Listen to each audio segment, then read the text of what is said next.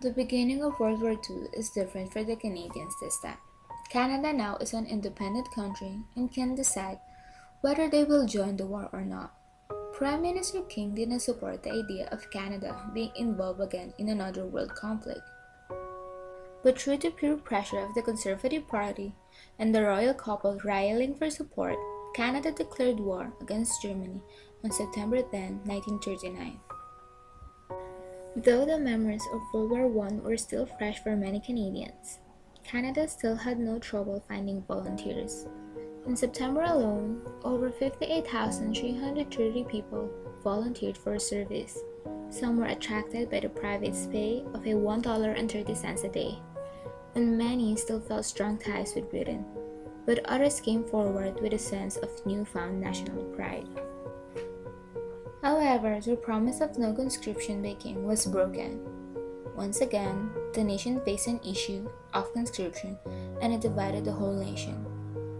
King at first passed only the NRMA Act, where it allows conscripts only for home defense, but the issue of overseas conscription was still a problem. King resolved into setting a plebiscite where he gets the opinions of Canadians.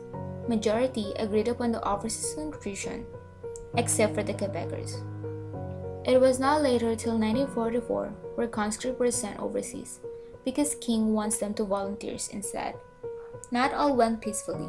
Some refused to leave, and there were riots. Only 2,643 Canadian conscripts reached the front.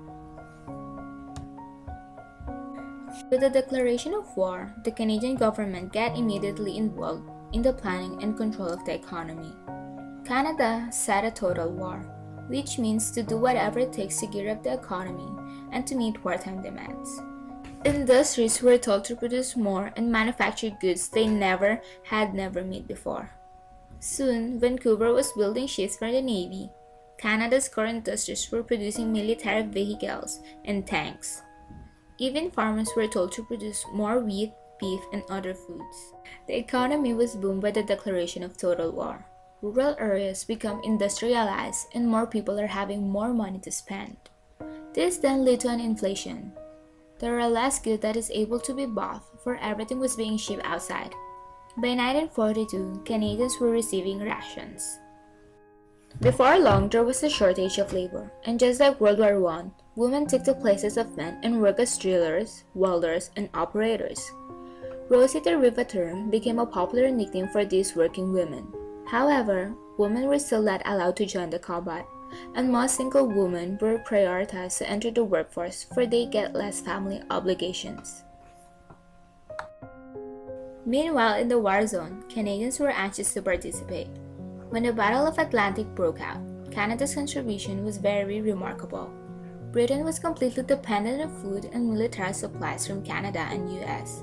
The Allies traveled in convoys to protect the cargoes, but the German U-boats continued to destroy them.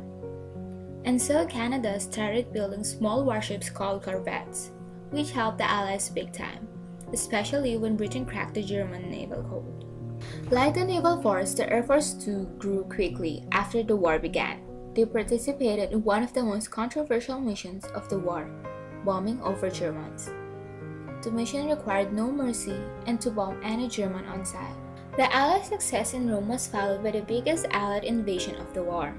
On June 6, 1944, known as the D-Day, the Allies launched Operation Overlord, where the goal is to fully conquer Europe.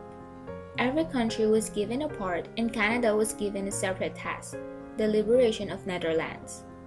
Though casualties were high, Canadians managed to win over the Germans, got them surrounded and surrendered.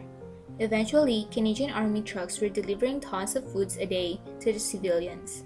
Canadians were hailed as heroes in victory parades throughout the Netherlands.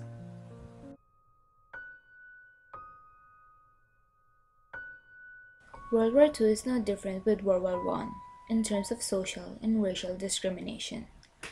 The Germans developed a superiority complex where they started persecuting Jews gypsies, Slavs, and other people they considered inferior. By 1945, the Germans had murdered more than 6 millions of these people. This has become to known as the Holocaust. Canadians were divided among the issue of Holocaust. the government found no reason to accept Jewish refugees and think that while Canada is under the state of unemployment, there will be no open door policy. The citizens, however, didn't share the anti Semitic views of the government and rallied for a more human immigration policy. On the other hand, Canadians too have their own issue of discrimination. Many Canadians felt threatened to their security from the Japanese descent people living in the country because of the Japanese bombings in the US. Though these Japanese descent citizens already live in Canada for generations, they were suspected as spies and were forced to settle in an internment camps. Later on, the government had the Japanese belongings confiscated and sold. It was not until 1988 that the federal government apologized for its actions. Discrimination was still a depressing issue that hasn't changed over the course of World War I. African Canadians weren't given ranks in the army, and women weren't still allowed to join and serve into the military force. World War II, however, gave Canada again a spotlight. Canada provided major military and economic support to the Allies. During the battles at the sea, Canada helped by supplying foods and military support. By the end of the war, Canada was known as the arsenal of democracy. In the end, it was the Americans that ended the war.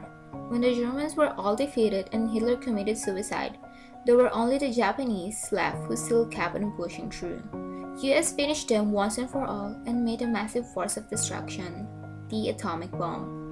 Millions of people died in Japan, and the explosion was so strong it set people right into ashes. Right then, Japan surrendered, and the World War is over.